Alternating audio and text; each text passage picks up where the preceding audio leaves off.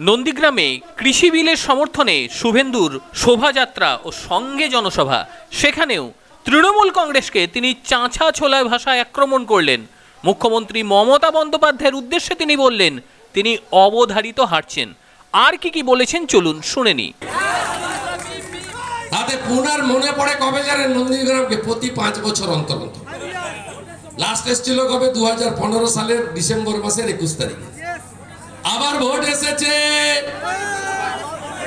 আবার ভোট এসেছে, তাই তিনি এসেছেন। আর প্রথমে বলল, কে দাঁড়াবে? তারপরে বলল, ভাবছি আচ্ছা আমি দাঁড়ালে কেমন হয়? সবাই হাততালি দিয়ে উঠল। পাঁচতলা বা পাঁচ ছতলা করে পাকা বাড়ি করেছে যারা নন্দীগ্রামে ঝেড়ে, জনগণের টাকা ঝেড়ে, তারা হাততালি করে উঠল। হাততালি করে মেরে উঠল। ভাবলো যে হাততালি মেরে দিয়েছে মানে ভোট পড়ে গেছে সব মেশিনে। বলল আচ্ছা আমিই দাঁড়াবো। তারপরে খানিকক্ষণ ভাবলো যে জিতা যাবে তো। অঙ্ক কষলো, এদিকে কত, ওদিকে কত। কিছু জানে না হিসাব।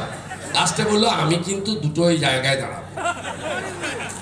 আমার বড় বোন হচ্ছে ভবানীপুর, মেজ বোন হচ্ছে নন্দীগ্রাম। এবারে কিছুদিন পরে বলবে, সেজ বোন হচ্ছে ডমজুড় আর ছোট বোন হচ্ছে কে? বালি। আরও কিছু বলতে পারে? আজকে আমার বেসুরো প্রবীর ঘোষাল, উত্তরপাড়া। কত অসংখ্য বন হয়ে যাবে, তাতে আমাদের অসুবিধা নেই।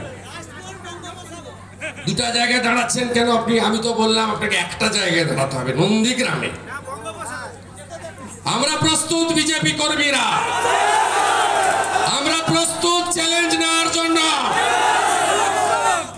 তিনটা অঞ্চলে কিছু ভোট পাবে, আমার কাছে অঙ্ক আছে। চোদ্দটা অঞ্চলে ভোকারটা করে দেবো। আর এই যে সাতাঙ্গা বাড়ির গুন্ডাগুলো না, এগুলোকে আমার থেকে বেশি কেউ চিনে না। এরা নারকেল গাছে উঠে গেছিল দশই নভেম্বরের পরে। সিপিএম এর গুতায় নারকেল গাছে উঠে গেছিল, আমি এসে নারকেল গাছ থেকে নামিয়েছি। আরে এই লোকগুলো আমি ভালো চিনি নির্বাচন কমিশন আর কেন্দ্রের স্বরাষ্ট্র দপ্তর সিআরপিএফ এ পাঠাবে এবারে নির্বাচনে। বড় বড় ডান্ডা নিয়ে আসবে, নিজের ভোট নিজে দেবেন, পদ্ম ফুলে ভোট দেবেন।